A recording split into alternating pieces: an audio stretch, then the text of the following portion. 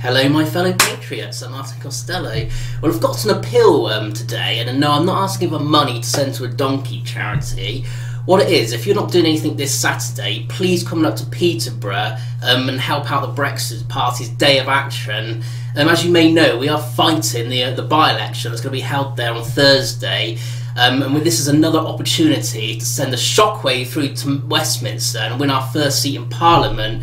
I cannot express how important this is. You know, in World War II, we dug for victory, but I need you all now to help dig out and play your part in this. We must build on the success of last Sunday. Now, we've got Mike Green, who's an excellent local candidate, and we need as much help as possible in Peterborough to get him over the line between now and the polling day.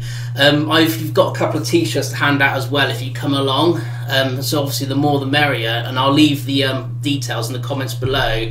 But you know we can't do this without you, so please come along and help us make history again, and please be a part of it. You know what your grandchildren might say, "Oh, nanny, granddad, what did you do to help Brexit?" Well, you'll be able to tell them um, about tales of things like this that happens. So please, please, please come along, and I'll see you on Saturday.